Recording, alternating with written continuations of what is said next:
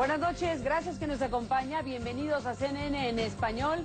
Bueno, este es un día importante, estos días son días muy importantes, como hemos eh, comentado ya en diferentes ocasiones con motivo del debate y las resoluciones ya que está tomando la Suprema Corte de Justicia de la Nación en materia de ley de radio y televisión y telecomunicaciones. Así es de que, bueno, ya que la Corte ha estado pues eh, eh, perfilando las cosas de tal manera que la ley de medios eh, queda prácticamente aniquilada, como se ha sabido y como se ha informado, pues eh, esta noche realmente que es eh, un lujo poder conversar sobre medios de comunicación con alguien tan importante como Eric Marshall McLuhan, uno de los teóricos y especialistas en materia de medios de comunicación más importantes del mundo.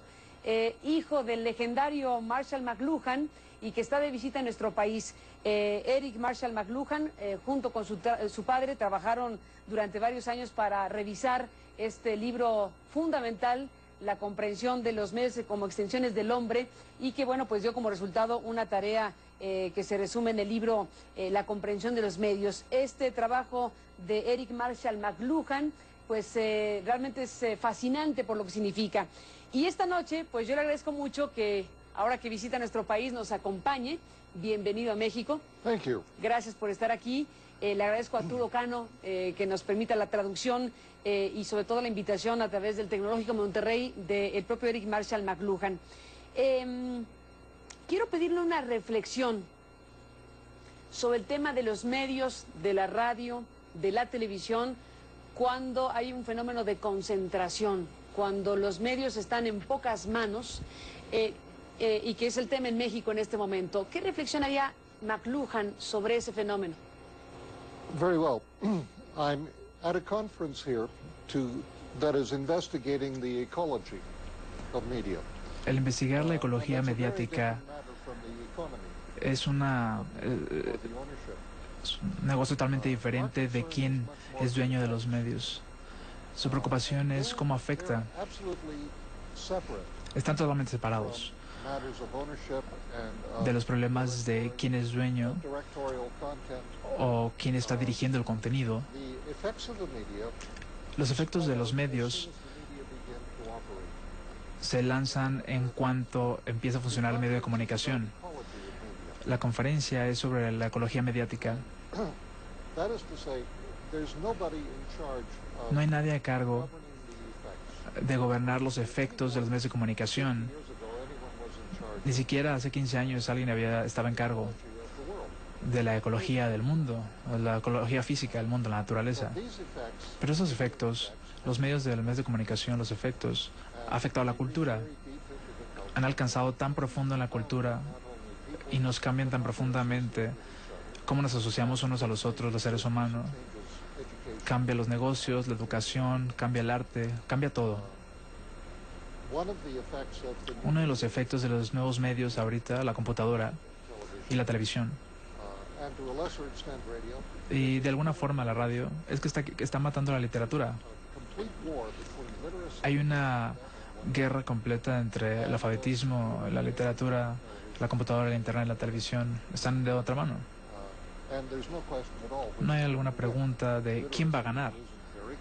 La literatura está perdiendo rápidamente, ahorita. La razón es eh, muy sutil, no tiene nada que ver con los programas. No tiene nada que ver con el tipo de historias que la gente lee.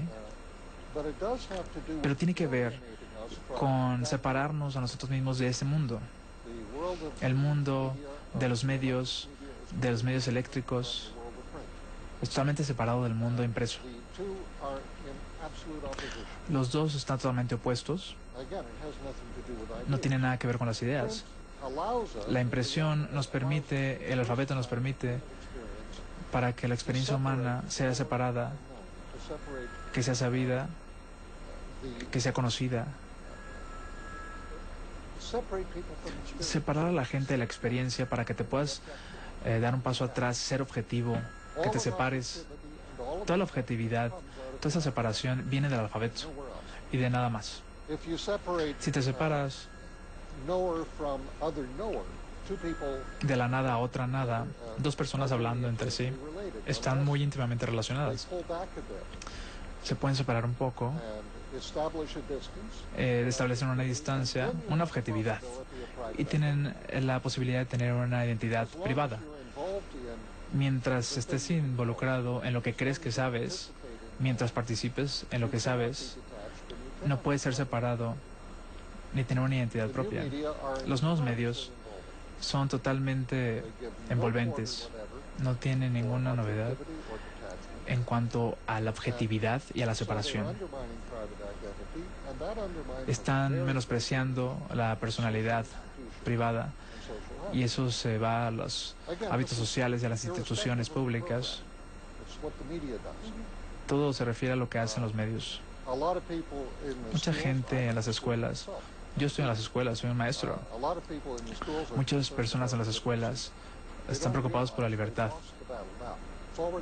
No saben que ya perdieron una batalla, que ya está perdida. La batalla fue ganada por los nuevos medios.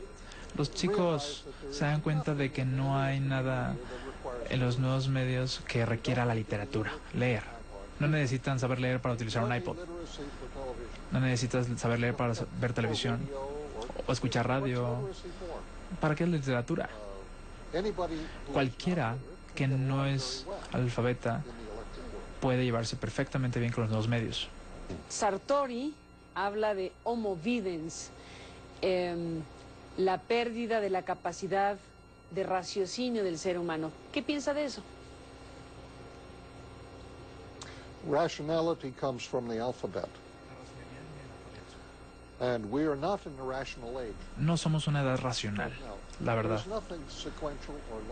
No es secuencial o lógico sobre la experiencia ahora.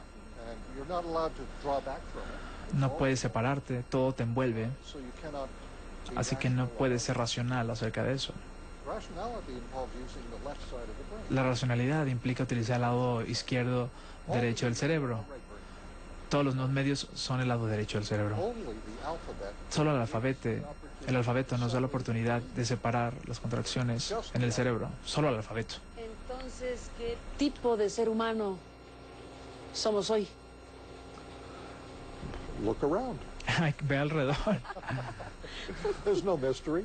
¿No? No hay misterio para nada. We are not the thing that we imagine. No somos lo que We imaginamos. imagine ourselves Nos imaginamos image ser of la who we imagen de quién queríamos ser antes o qué éramos antes. But we don't imagine ourselves Pero no in nos imaginamos a nosotros mismos en la imagen de quiénes somos. environmental. We won't Es demasiado ambiental.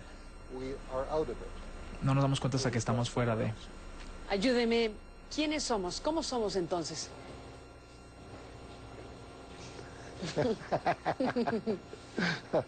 Who am I? Well, I'm a throwback. I'm a literary guy. Uh, and I still have some of the Soy un ser literato. Tengo capacidades que el alfabeto me presta. Trato de no meterme mucho en los nuevos medios porque valoro mucho la objetividad y la separación. A Ellos confirman la forma en la que se ve la tradicionalidad de la cultura en el oeste. Hay aquí una respuesta a esa pregunta. No somos personas del oeste.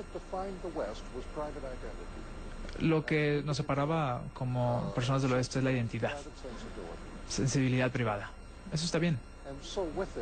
Y con ello se va al oeste. Todavía tenemos instituciones, ciudades, But we are not Westerners anymore. pero no somos personas del, del oeste, occidentales. Voy a hacer una pausa y regresamos con esa parte de la conversación, si le parece.